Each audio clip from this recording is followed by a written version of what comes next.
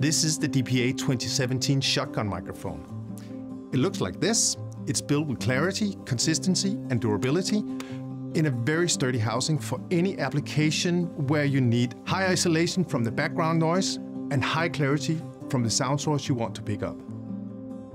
A shotgun microphone is basically like any other directional microphone with the capsule way down here, but with an added interference tube for higher directionality. We developed this specifically for applications where you want to pick up the sound coming from the front of the microphone and isolate the sound coming from the rear of the microphone. It could be on a sports field where you want to pick up the action on the field, but not so much the crowd behind the microphone. It could also be the other way around where you want to pick up the crowd and not so much the action on the stage for, let's say, music application.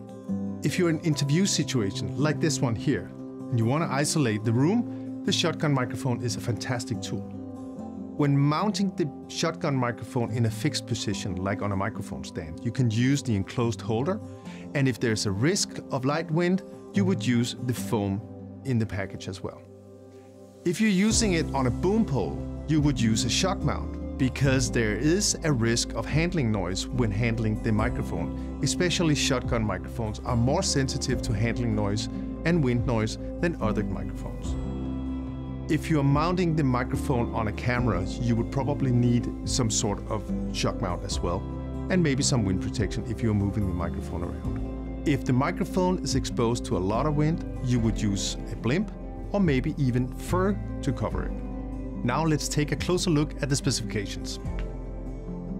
We aimed at making the 2017 as short as possible without compromising on the sonic qualities. And we succeeded at making it only 184 millimeters long. The capsule is way down here in the beginning of the interference tube, so make sure you don't cover the grid with tape holders in order to maintain the directionality of the microphone. With the 2017 shotgun microphone, we have gone an extra mile to make the on-axis response as effective as possible and made the off-axis response as uniform and as linear as possible. The axis symmetrical on the 2017 is also linear.